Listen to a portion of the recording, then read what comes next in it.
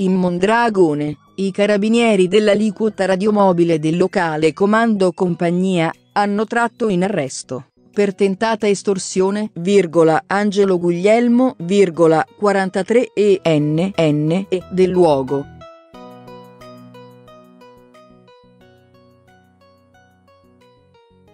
L'uomo, armato di forbici, ha tentato di costringere un 48enne del posto a corrispondergli una somma di denaro senza giustificato motivo.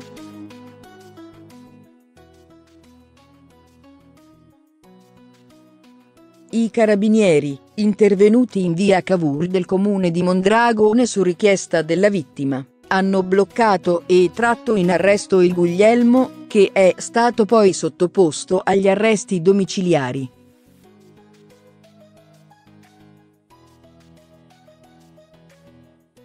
La vittima, sentita al riguardo, ha riferito che anche in passato il Guglielmo aveva più volte tentato di estorcergli denaro e che a causa del timore per la propria incolumità non aveva mai provveduto a denunciarlo.